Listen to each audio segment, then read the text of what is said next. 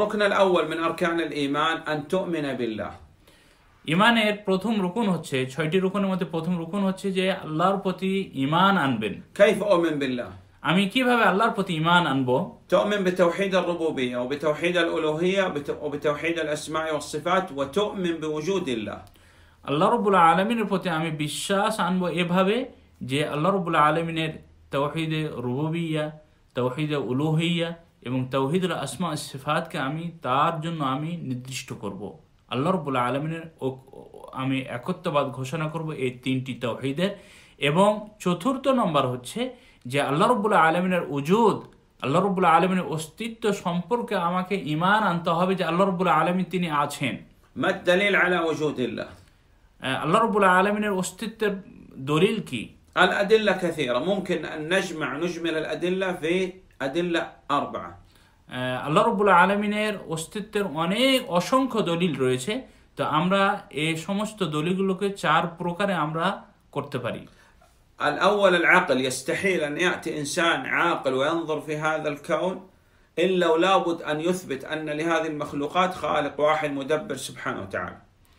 আহ, প্রথম নম্বর হচ্ছে মানুষের যে ব্রেন আল্লাহ রবুল্লা আলম যে ব্রেন দিয়েছেন এ সেন্স দিয়েছেন এই সেন্স কোনো একজন ব্যক্তি সে এই বিশাল এই বিশাল পৃথিবী দেখা- দেখার পরে সে কখনো এটা বলতে পারে না যে এটা এমনিতে হয়ে গেছে বরং সে বিশ্বাস করবে যে এর একজন অবশ্যই সৃষ্টিকর্তা পালনকর্তা রয়েছেন نعم الثاني الحس تكون في كرب وشدة مثلا ترفع يدك للسماء تجدها تنفرج قام النبي صلى الله عليه وسلم وأخذ يدعو وإذا بالغيث ينزل هذا دليل محسوس ملموس ترى بعينك مثلا যে অনুরূপভাবে আহ,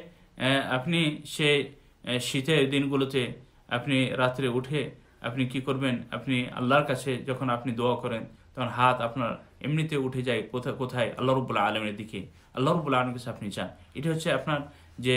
হেস মানুষের অনুভূতি এই অনুভূতির মাধ্যমে সে আহ, জানতে পারছে যে আল্লাহ রবুল্লা আলম তিনি আছেন তার অস্তিত্ব রয়েছে الثالث الفطرة كل مولود يولد على الفطرة فهو يثبت وجود الله سبحانه وتعالى আর তৃতীয় নম্বর হচ্ছে আহ, আল্লাহ রব্বুল আলমিন মা আল্লাহ রব্বুল আলমিন মানুষের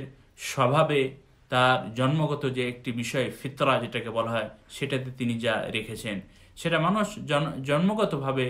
তার স্বভাবগতভাবে সে স্বীকার করে যে আল্লাহ রব্বুল আলমিনের অস্তিত্বকে সে স্বীকার করে এবং মানে যে আল্লাহ রব্বুল আলমী তিনি আছেন الرابع الشرع وهذا كثير فالأدلة من الكتاب والسنة كثيرة جدا على إثبات وجود الله سبحانه وتعالى والله أعلم আর চতুর্থ চতুর্থ প্রকারের দলিল হচ্ছে আল্লাহ রবুল আলমের অস্তিত্ব সম্পর্কে। সেটি হচ্ছে কোরআন এবং হাদিসের যেগুলো শেরি দলিল, আদিল্লা প্রমাণে, প্রমাণাদি। সেগুলো অসংখ্য হ্যাঁ আল্লাহ রবুল আলমী তিনি আমাদেরকে যেন তার এই অস্তিত্ব সম্পর্কে সঠিক ইমান আনার তৌফিক দান করেন।